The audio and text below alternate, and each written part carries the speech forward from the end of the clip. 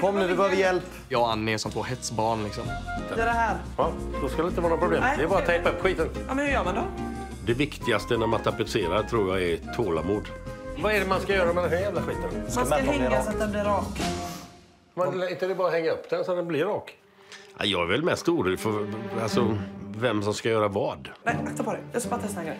Vad kan jag göra då?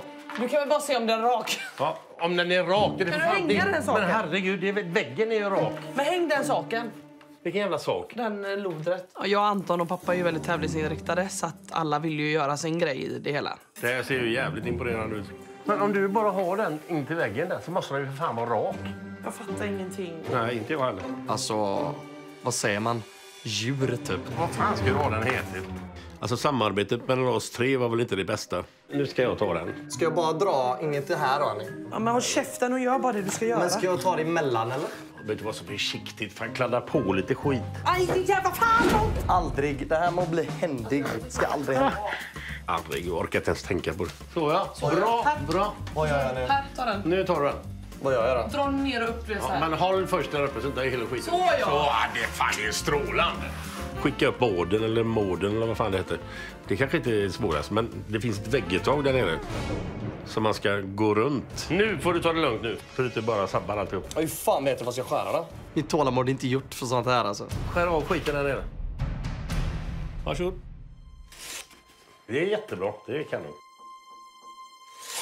Men du kan inte göra så långt, Anton! Skitsamma, jag bryr mig inte. Alltså jag är inte jättesugen på att fortsätta alltså. Skit i det. Det smälter in sen. En rulle till. Så, eller en sån här jävla grej till. Bredvid den fina bredvid den.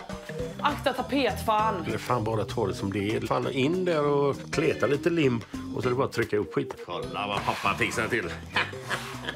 Det är ju spikrakt för fan. Nu tar vi nästa. Rätt ner. Kom igen. Den andra och tredje är jag faktiskt ganska nöjd över. Det måste jag säga. Nu ska jag kapa den där nere bara. Jag gillar att kapa. Man ser ju en betydlig skillnad från här. Här är ju kritvitt. Världsskillnad. Man ser ju nu att det är tapeter och där är det målarfärg. Ja. Pappa tycker det ser jättebra ut. Jag tycker inte det ser bra ut. Jag tycker det är fräckt. Det finns grön målarfärg som man kan måla runt Men det är inte grönt. Ja, Det är just det, färgblinda. Vad är det blått? Jag tycker det är jättefint. Men jag gör så här. Jag säger att vi we're done. Jag, jag skickar in någon annan på det. Sen att det är lite skit runt vägguttaget.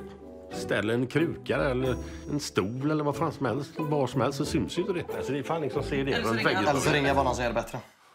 Ja, men det var fast på det för om det är bättre. Det är ingen som ser det jävla vägguttaget ändå. Tjena, det var Glenn. Och Anton?